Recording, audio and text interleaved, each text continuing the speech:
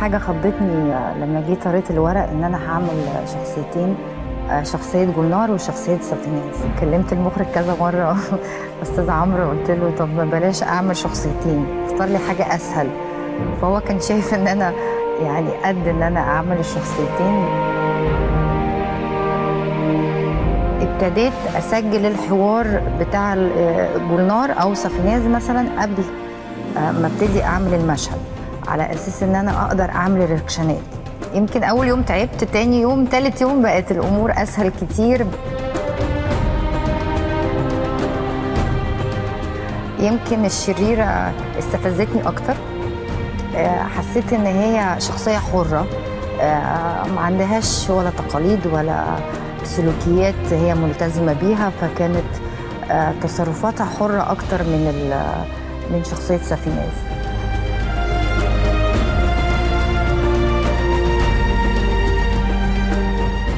من أصعب المشاهد اللي صورتها كان في مشهد في في المية. بالنسبة لي كان مشهد صعب جدا. لما بتصحى وبتلاقي نفسها في في بحر مفتوح ومتبقاش عارفة تتصرف إزاي.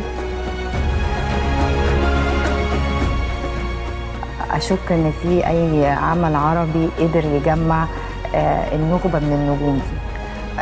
مسلسل زي ده بحجم سرايا عابدين عمره ما كان يقدر يتعامل بالشكل ده إلا لو كانت هتعمله شركة كبيرة زي ال MBC